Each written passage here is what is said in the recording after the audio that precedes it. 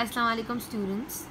Uh, I'm Miss Laila Hassan and this video is regarding the solution of question number 4 exercise 13b. Uh, this question is actually a very easy question if we observe it very carefully and if we draw the diagram.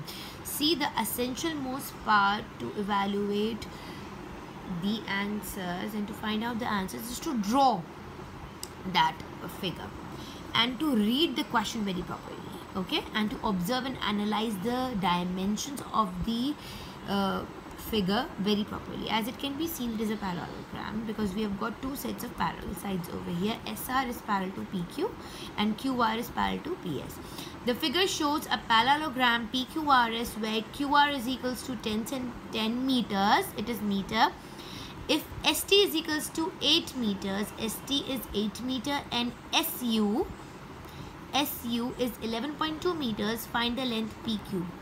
Class point to be noted, we have got two perpendicular heights. How did we evaluate it that these two are the perpendicular heights? By this block.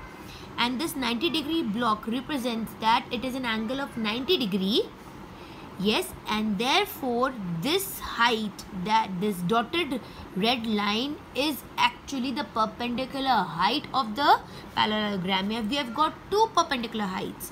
One is sq 11.2 meters and the other one is st 8 meters. Yes class? So what are we going to do? Our objective will be first we the help of qr as the base length for 11.2 meter is QR 10 meters and the base length is PQ for the perpendicular height ST 8 meters. So we have got two sets of perpendicular heights and two sets of the base length. So as it is provided one of the perpendicular height and the base we are going to find out the area of the parallelogram and with that area of the parallelogram we are going to substitute this perpendicular height and then we are going to find out this base length PQ. Yes class? So let's start with the solution. As the area of parallelogram, the formula is this, this sign is of perpendicular height multiplied by base length. So first of all, let's find out the perpendicular height with the help of this 11.2 meter as this is the perpendicular height with the help of this box. I can evaluate that this is the perpendicular height and the base length of this perpendicular height is 10 meters QR. Therefore, 112 centimeter square is actually the is actually the um, sorry for this voice is actually the area of parallelogram. Now what I'm going to do? I am going to write the formula again.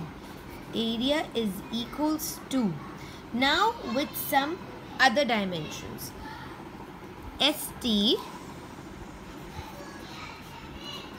multiplied by PQ. Yes, ST multiplied by PQ because ST is the perpendicular height and PQ is the base length. As the area is 112, ST is 8 multiplied by PQ. Now we have substituted all of this, right? As 8 is multiplying over here, we are going to shift 8 to the other hand side of the is equals to if 8 is multiplying on the other hand side 8 is going to divide and that shall be is equals to PQ therefore PQ is equals to 112 divided by 8 is 14 therefore the dimension of PQ is equals to 14 meters. I hope this solution of the question number 4 exercise 13b is understandable to you and good luck for your efforts and happy learning